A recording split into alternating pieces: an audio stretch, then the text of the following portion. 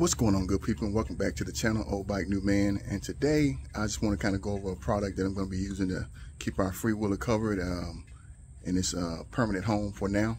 So um, I'm going to give you some details about it. Uh, I'm not going to show installation uh, I'm going to link a video showing you the installation video that I watched to, to figure this thing out outside of the instructions of course.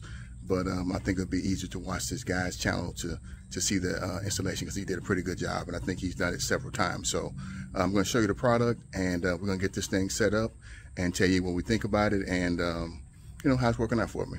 You guys stay tuned. Appreciate you. Peace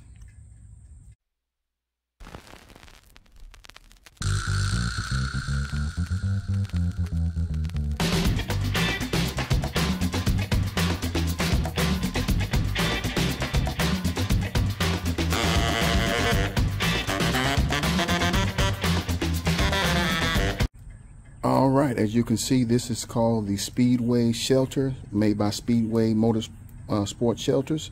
Um, I have the, deluxe model, which is made for trikes, uh, Spyders, and things of that nature. So I will show a picture of that here. And like I said, we're going to get it set up. The instructions seem pretty straightforward.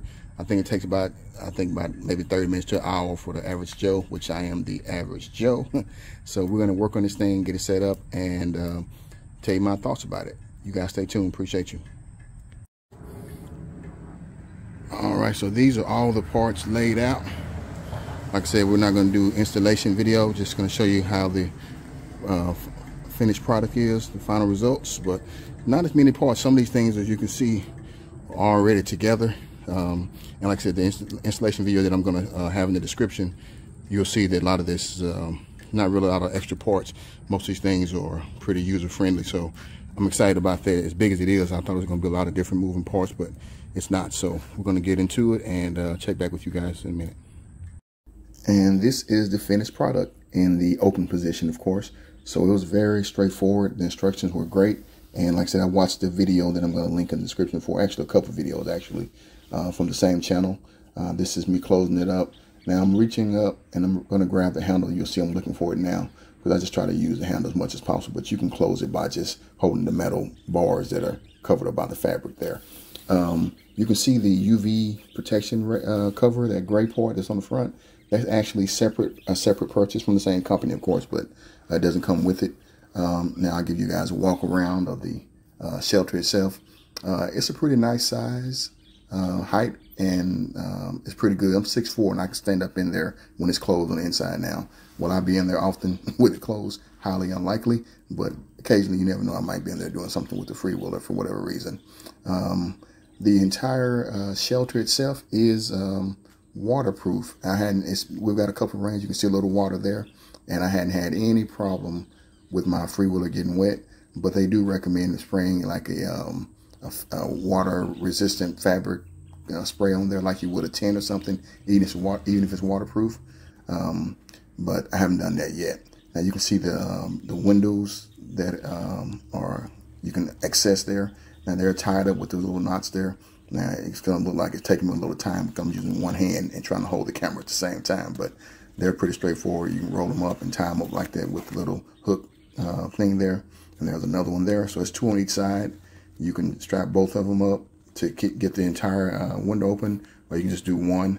Uh, all the windows are Velcro, and as well as the insides where you're attaching the cover itself to the metal frame, it's all Velcro too. So everything was straightforward. There were no tools needed at all.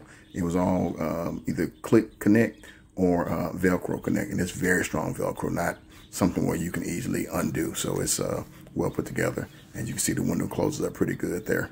Uh, no issues there. Now you can see uh, this is the um, UV protection shell uh, thing I was telling you about. If you're in a uh, climate that gets a lot of sunlight, you may want to get something like that to keep from your your shelter getting color changing and also to keep it the heat off your vehicle. Those are the straps where you can tie down if you uh, get into high winds or something.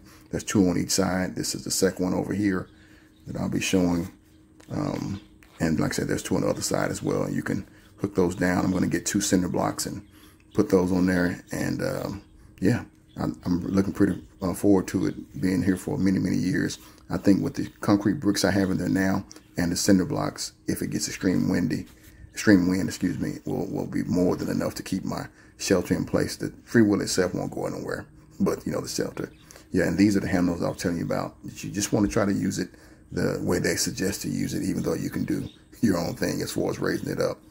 Um, yeah, I'm really looking forward to uh, seeing how well this thing holds up.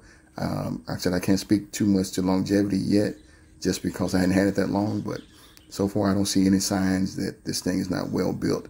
I do not know what that DS1 Ultra stands for, but um, I'll link, of course, to the uh, page where uh, where I bought the uh, product from, and I'm sure they have more details.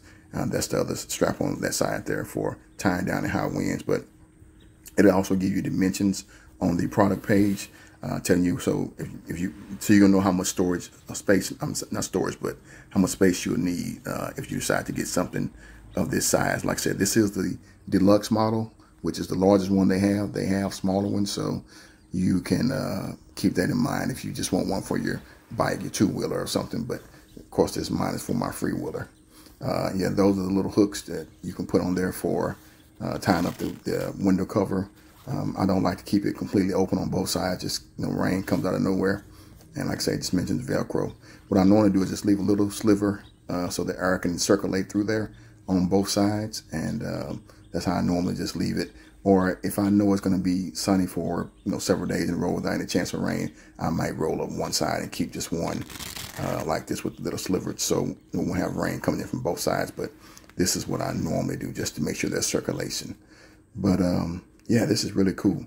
Now here's why I was telling you all that it was a little difficult. The inside, putting the bars, uh, putting the Velcro around the bars, that wasn't quite as fun, but um, it wasn't difficult. Just took a little time. So this is a great product, and I'm looking forward to seeing how it goes over the years. Chat up with you guys in a minute. Oh, forgot to mention, this is my little light.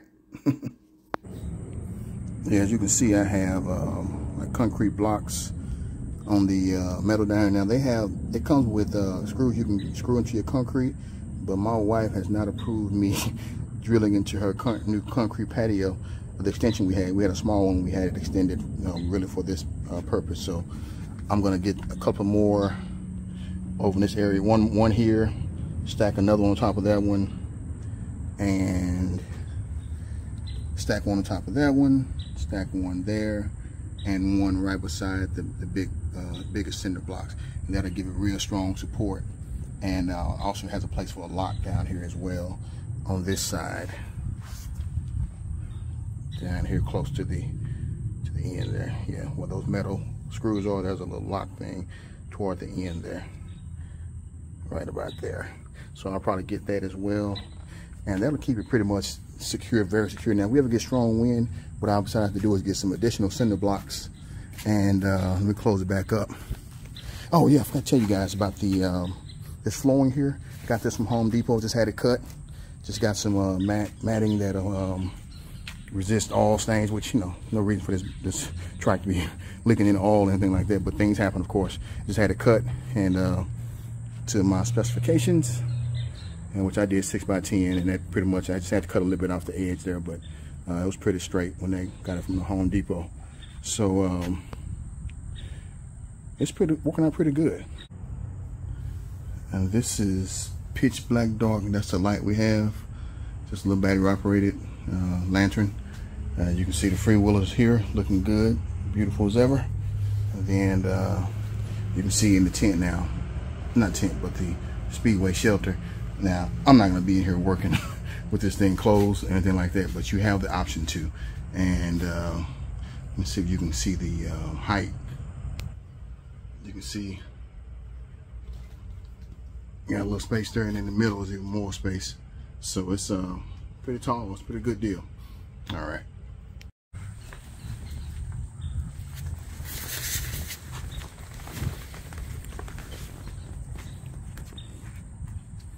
Now I don't have them yet, but I'm gonna get uh maybe two cinder blocks or something that's really heavy. And uh, whenever it's, it's, supposed to be extreme wind, if I feel like it's real windy, I'm gonna tie them bad boys down on here. And uh, and the one back there. And then of course there's two on the other side. And that'll ensure that my, my shelter won't go anywhere. So yeah, this is going to work out great. And like I said, I will link the uh, video for the description for, I think his name is Kyle Bradshaw. He does a lot, he's done a lot of motorsport stuff over the years. So he has a couple of videos of uh, him putting this shelter together or different sizes as well, because they have smaller ones than this if you wanted one for your bike or something like that, or dual sports, something like that. Or so, yeah, real cool. Uh, big shout out to them. Obviously, I don't know about longevity yet. I haven't had it that long, uh, so we'll see. But so far, we've had a few good rains, and my free will is still dry inside, so that's good enough for me. So talk to you guys later. Peace.